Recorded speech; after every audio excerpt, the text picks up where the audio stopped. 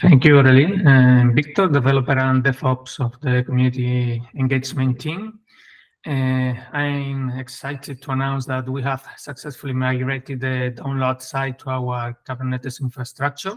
The migration was carried out on July the 4th with a cutoff of um, under two hours, mainly to transfer the, the database data and the files. We now have uh, two servers, uh, packaging Moodle.org for, uh, for generating the Moodle code packages after each roll and release, and as a file, server, file server for the Moodle and language packages, and the and download Moodle.org, where you can access to the Moodle instance to download packages uh, manually, and uh, Moodle sites can check for available updates through the updates API.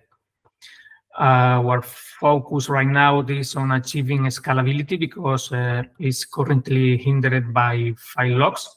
And we will also look at enhancing the theme and refining existing processes shortly.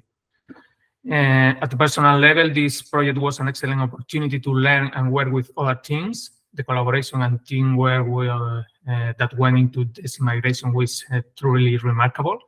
Special thanks to Eduard, Eloy, and Dale it would not have been possible with all of you. Thank you.